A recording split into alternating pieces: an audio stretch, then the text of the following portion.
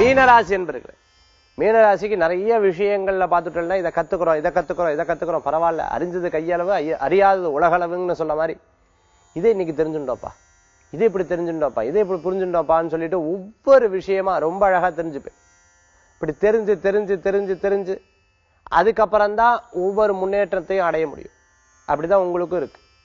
எப்பவுமே ஒரு விஷயம் ரொம்ப சீக்கிரமா கிடைச்சுட்டோம் அப்படின்னு சொன்னா அதுக்கு பெரிய பலன் இல்லாம இருக்கும். ஒரு விஷயத்துக்கு கஷ்டப்பட்டு அது கிடைச்சதுன்னு சொன்னால் அதுக்கு ஒரு பெரிய பலன் கிடைக்கும். அதனால இளமையில கஷ்டப்படுறவா பின்னாடி முதுமையில நன்னா இருப்பா. முயற்சிகள் நல்ல பலன்களை கொடுக்கும். குழந்தைகளுக்கு நல்ல முன்னேற்றம்.